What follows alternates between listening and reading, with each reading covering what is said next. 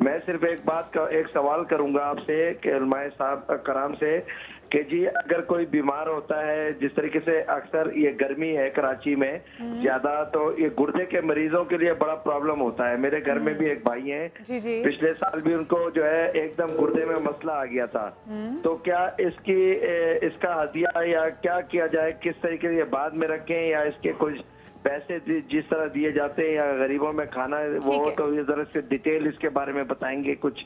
सही ठीक है। रियाज साहब आपका सवाल मैंने बिल्कुल याद कर लिया है। ये सवाल अपने उलमा से करेंगे। एक और कॉलर साथ है। अस्सलाम जी। अस्सलाम वालेकुम। वालेकुम अस्सलाम। रमज़ान मुबारक। कौन बात कर रही हैं? मैं लाइबा बात कर रही हूँ लाहौर से। जी लाइबा जी। जी आप मरिया आप सबको बिलाल भाई को रमज़ान की पहली सहरी बहुत बहुत मुबारक हो। बहुत बहुत बहुत शुक्रिया जी आपके बहुत ज़्यादा मुबारक और सवाल सवाल सवाल सवाल का मैं जवाब मैं अभी ले लूँ या बिलाल भी आपके सवाल के बाद लूँ मैं? इन सवाल का देख लें पूछ लें। खातून अगर हाँ। कुछ का पूछना चाहती हैं। नहीं नहीं वो जो उनका रियाज साहब का जो सवाल हाँ स- हज़रत। देखें कुरान करीम ने जहाँ रोज़े का ज़िक्र किया है वहाँ कहा कि कुतिबा अलैकुम सियाम कमा कुतिबा अलजीना मिन क़ब्लिकुम लअल्लकुम तत्तक़ून। वमन कान मिनकुम मरीदन औ अला सफ़रिन। फ़इद्दतुम मिन अय्यामिन उखर। कि अगर तुम में से कोई मरीज़ है या मुसाफिर है तो आइंदा दिनों में वो गिनती को पूरा कर लें अब गुर्दे का मर्ज़ है, गर्मी के रोज़े हैं, और अगर पानी की शदीद ज़रूरत है तो ऐसे में अल्लाह ताला ने आसानी दी है कि आप वो सर्दी के अयाम में उस गिनती को पूरा कर लें, ताकि जो है वो रोज़े भी पूरे हो जाएँ फिदिया अगर दे अगर ऐसे मरीज़ देखिए दो। सूरतें होती हैं। एक तो ऐसा मरीज़ है कि जो आइंदा दिनों में गिनती को पूरा करने की अहलियत रखता है। एक शेख फ़ानी कहलाता है। शेख फ़ानी का मतलब ये नहीं है कि वो बिल्कुल ही जो है वो ज़यीफ़ और ज़यीफ़ुल उम्र हो बल्कि वो शख्स के जो आइंदा दिनों में भी गिनती को पूरा नहीं कर सकता। अच्छा। यानी ऐसा मर्ज़ है उसको। तो उस सूरत में ये आसानी दी गई है कि वो एक मिस्कीन को खाना खिलाए। जैसे कि डायबिटीज़ सिर्फ- सिर्फ़ एक- मतलब जिस्मानी मर्ज है या जहनी मर्ज भी हो सकता है? ये जहनी मर्ज तो उस उसके ऊपर तो बहुत सारी चीज़ें माफ़ होती माफ़ होती हैं। लेकिन यह है कि जो जिस्मानी अमराज में मुबतला लोग होते हैं और जिनके आइंदा भी ताकत आने की कोई उम्मीद नहीं होती। है इसमें आखिर जी एक और बड़ी सख्त बा- बात जो नज़र आती है ये कि खुदा ताला किस कदर चाहता है कि आप ये रखें। अगर आप बीमारी में नहीं भी रख पाते तो आप मरी चले जाएँ। आप रखें वो तादाद को पूरा वो करना जी हाँ तादाद देखें इसमें दूसरी एक बात और भी है कि कुरान करीम ने कहा कि युरीदुल्लाहु बिकुमुल युसरा वला युरीदु बिकुमुल उसर कि अल्लाह ताला तुमसे आसानी चाहता है तुमसे सख्ती नहीं चाहता। सख्ती नहीं चाहता। है? फिर ये सारे ऑप्शन देने के बाद आखिर में एक बात जो जुमला जो कुरान करीम में हमें मिलता है कि अनतसुमु खैरुल्लकुम इन कुन तुम तालम अगर तुम रोज़ा रखो तो तुम्हारे लिए बेहतर है अगर इस बात को समझो। और जैसे बिलाल भाई ने शो के आगाज़ में बात की थी कि अल्लाह पाक के मीसमी साहब मोहब्बत का पैमाना जो दिया है वो माँ की मोहब्बत है ना जांचने के लिए। तो इधर सत्तर माओ से ज़्यादा और भी। तो वो जहाँ माँ अगर हमारी जब इतनी तकलीफ़ देती तो वो फिर हमें मना कर देती तो वो तो फिर रब की ज़ात है। मीसमी साहब आप इस मसले का क्या हल यहाँ पर मैं अर्ज़ करूँगा बहुत ही हकीम साहब ने वाज तौर पर बात बताई। वो लोग जो टेम्परेरी तौर पर मरीज़ हैं तीन चीज़ों को जहन में रखें। अगर रोज़ा रखेंगे तो बीमार पड़ जाएँगे या बीमारी उनकी एलोंगेट हो जाएगी या इलाज में ताख़ीर होगी। ये रुखसत है फिर। ये तीनों सूरत में रुखसत है। और फिर बाद में इसको लिखें और अगर कोई ऐसा शख्स है कि जो अब नहीं हो सकता। हार्ट का पेशेंट हो गया रोज़ा रख ही नहीं सकता। दवाइयाँ लेनी है।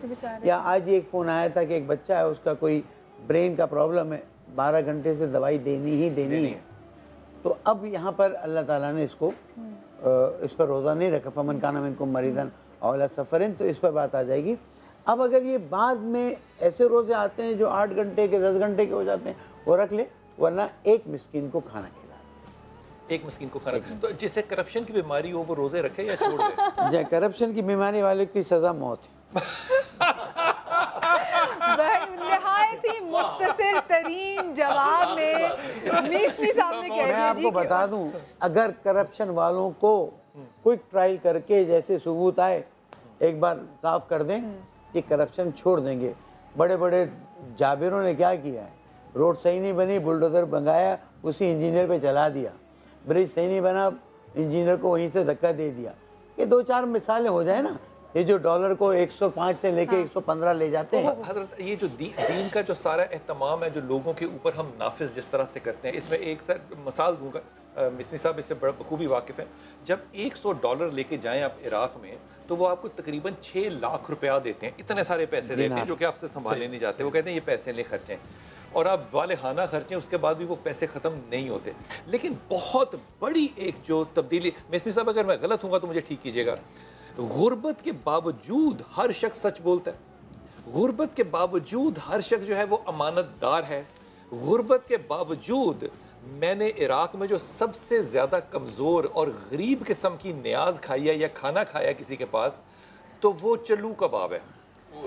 चावलों के ऊपर मक्खन और सालन साथ टमाटर का और फिर साथ कबाब। ये गरीब तरीन वहाँ पे खाना लोग अल्लाह के रास्ते में पैसे निकालते हैं खाना देते हैं। और तरबियत ऐसी लोगों की कि सात सात आठ आठ किलोमीटर ये मैं आपको तशबीहन नहीं कह रहा। सही बात।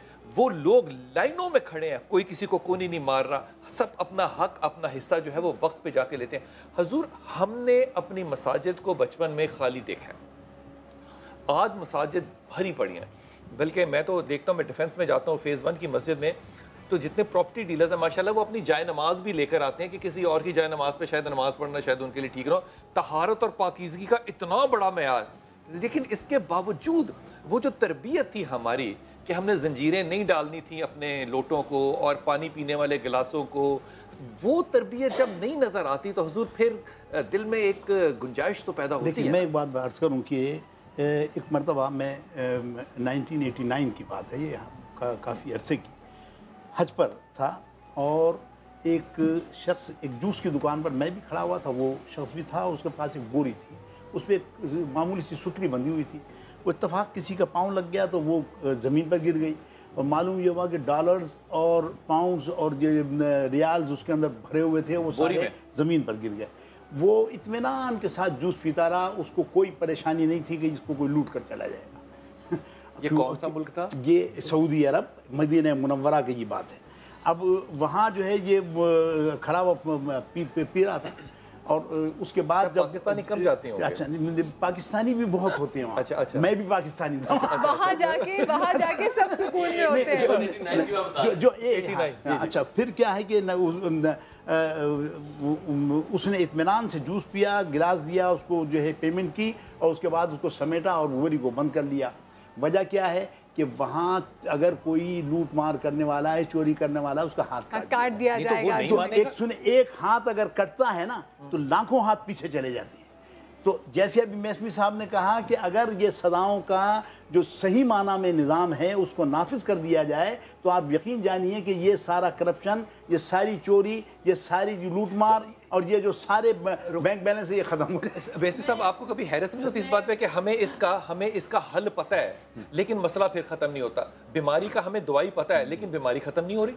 सर बीमारी ख़त्म करने के लिए जो बुनियादी चीज़ है वो नंबर एक नीयत है।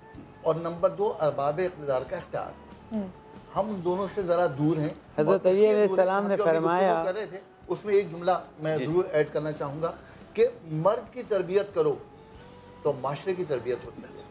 औरत की तरबियत करो तो नस्लों की तरबियत। वाह। देखिए यहाँ पर हज़रत अलैहिस्सलाम का फरमान है आपने फरमाया कि हुकूमत कुफ्र से चल सकती है जुल्म से नहीं चल सकती। है जब यहाँ पर आठ आठ घंटे लोड शेडिंग में लोग किडनी के मरीज़ बनते सर हम तो बिजली मांगते ही नहीं है ना। हम कहते हैं हमें शेड्यूल दे दो लोड शेडिंग का। वो भी नहीं हो सकता है। ये तो ये जो ये जो जुल्म है ना इस जुल्म की वजह से या इमाम जैन ने फरमाया कादल फ़क्र यकून कुफरा। बहुत नज़दीक है कि फ़क्र इंसान को कुफर तक ले जाए।